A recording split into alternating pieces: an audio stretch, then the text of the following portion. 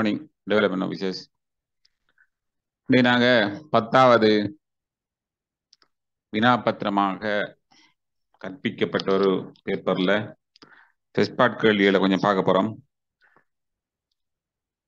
இதில் பாருங்க. எஃப்ஆரில் டெஸ்ட்பாட் முதலாவது கேள்வி.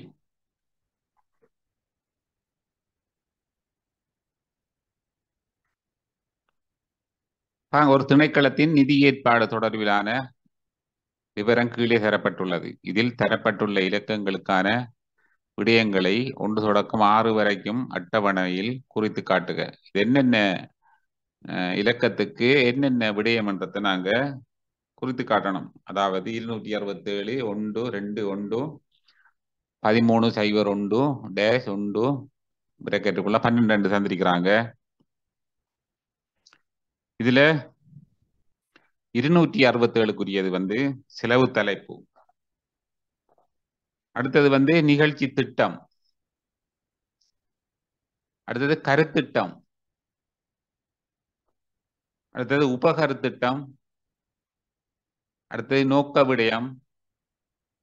அடுத்தது நோக்க விடய விவரம். இதுல பாருங்க இந்த இறுதியாக தரப்பட்ட ஆறாவது விடயம் வந்து இந்த பிரேக்கெட்டுக்குள்ள பன்னெண்டு. இந்த போட்டிக்கிறது வந்து இது ஒரு நிதியீட்ட குறியீடு. இப்படி ஒரு இலக்கத்துல பிரேக்கெட்டுக்குள்ள அவங்க போட்டு கடைசியில சந்தாங்கன்னு சொன்னா அது நிதியீட்டர் குறியீட்டை குறிக்கும். சரி வாங்க. அடுத்த கேள்வியை பாருங்க.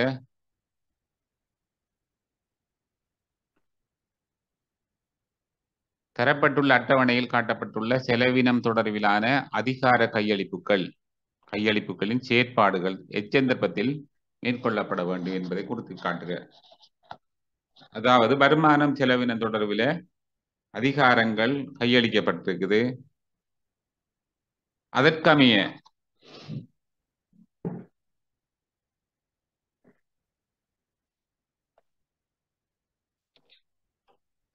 அனுமதி அளித்தல் அங்கீகாரம் அளித்தல் சான்றுபடுத்தல் கொடுப்பரவு செய்தல் என்ற விடயங்கள் செலவினம் தொடர்பாக கையளிக்கப்பட்டுள்ள அதிகாரங்கள்.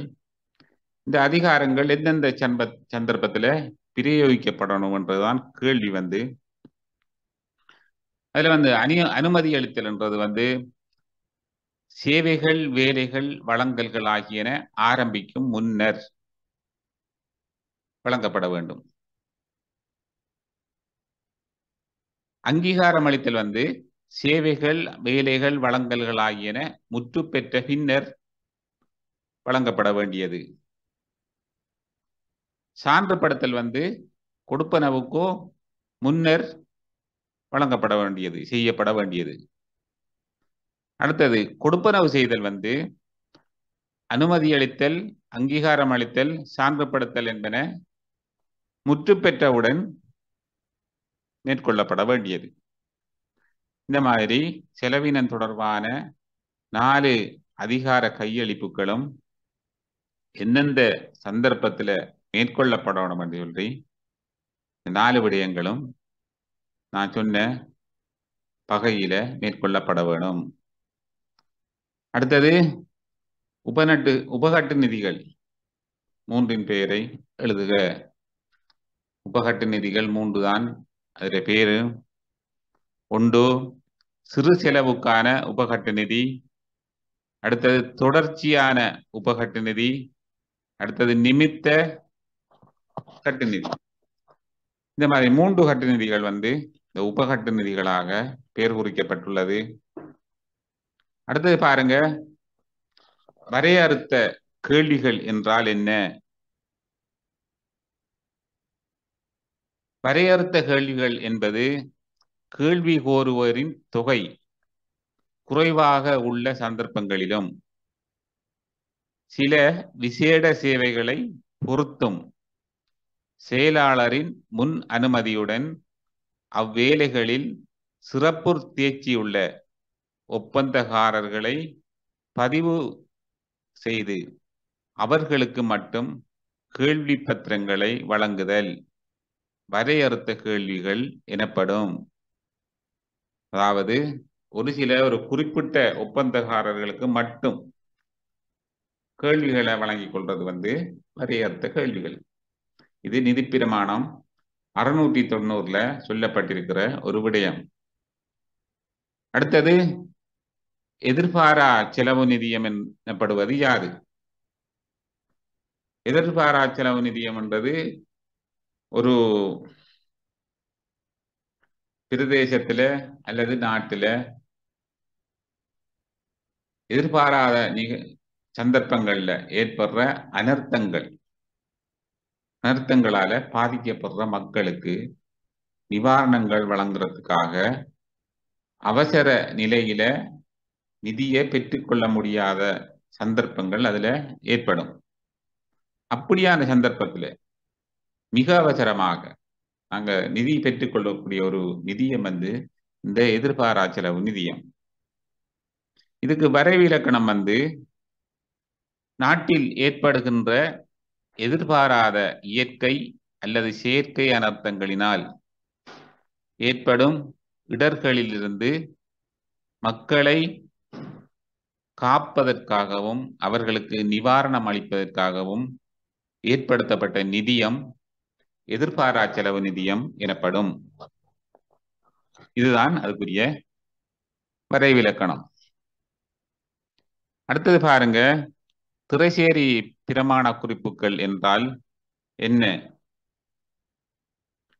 இது வந்து அரசாங்க கணக்கு குழு. அரசாங்க கணக்குகள் குழு என்ன செய்யும் என்று சொன்னா தங்களோட அறிக்கையை திரைசேரிக்கு சமர்ப்பிக்கும் இறுதியாக. ஏண்டா கணக்காய்வாளர் நாயகத்தால திணைக்களங்கள்ல நடத்தப்படுகிற கணக்காய்வு சம்பந்தமான அறிக்கை வந்து இந்த அரசாங்க கணக்கு குழுவுக்கு தான் கையளிக்கப்படும். அரசாங்க கணக்கு குழு அதுக்குரிய தங்கட செயற்பாடுகள் எல்லாத்தையும் மேற்கொண்டு இறுதி ஒரு அறிக்கையை திரைசேரிக்கு வழங்கும்.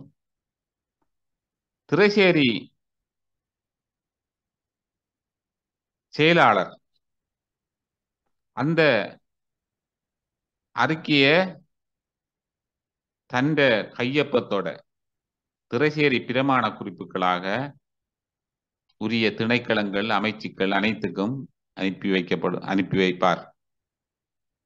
இது வந்து இந்த திரைசேரி பிரமாண குறிப்புகளின் படிதான் திணைக்களங்கள் எதிர்கால நடவடிக்கைகளை மேற்கொள்ளணும்.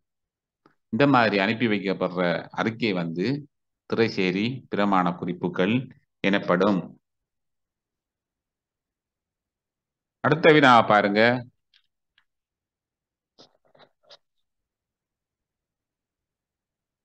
வளங்கள் சேவை செலவுகள் என்பதால் கருதப்படுவது என்ன?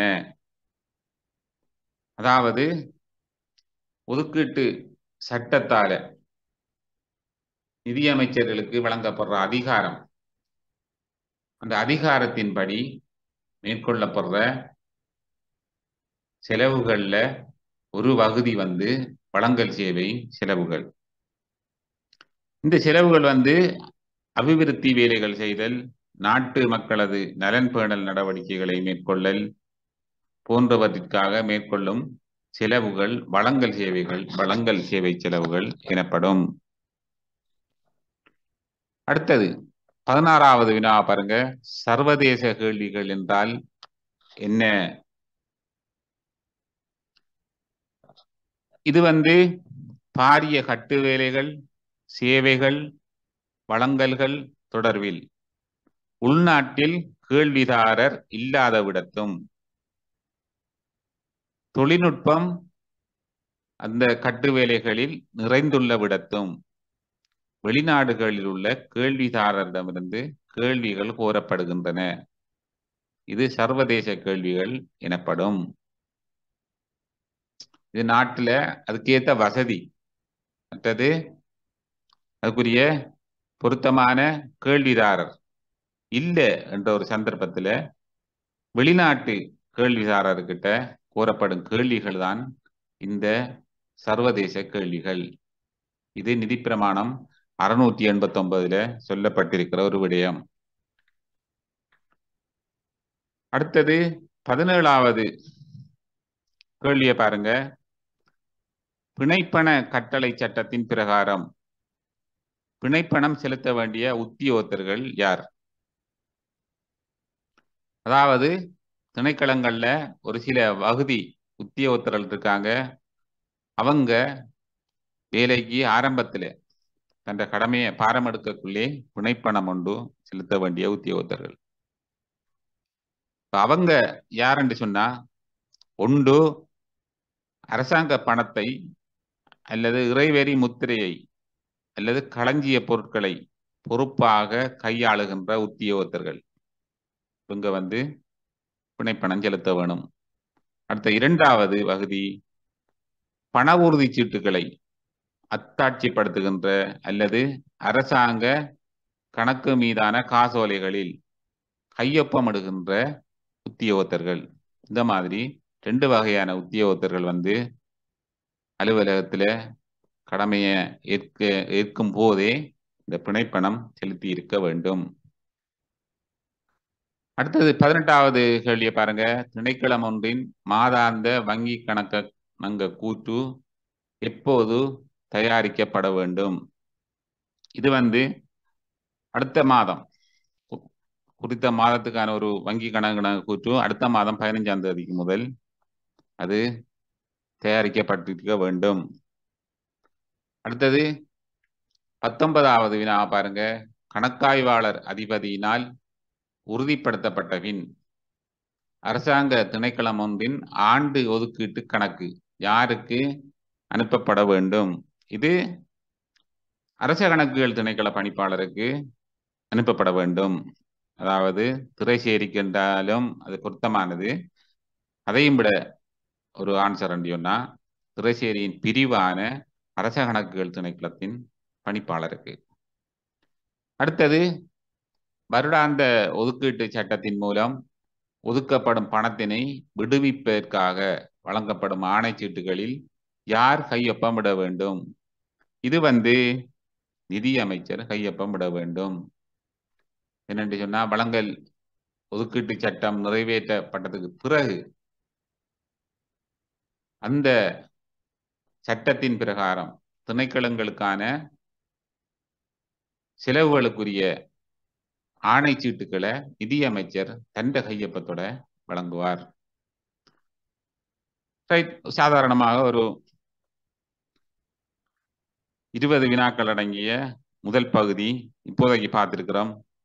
இது செகண்ட் பார்ட்டுக்கு வந்து டைம் கொஞ்சம் கூட போகுமன்றதால நாங்கள் அடுத்த வீடியோவில் செகண்ட் பார்ட் கேள்வி விடைகளை நாங்கள் போடுவோம். பார்த்துக்கொள்ளுங்க. இது ஃபஸ்ட் பார்ட் இதோட முடிச்சுக்கொள்வோம் தேங்க்யூ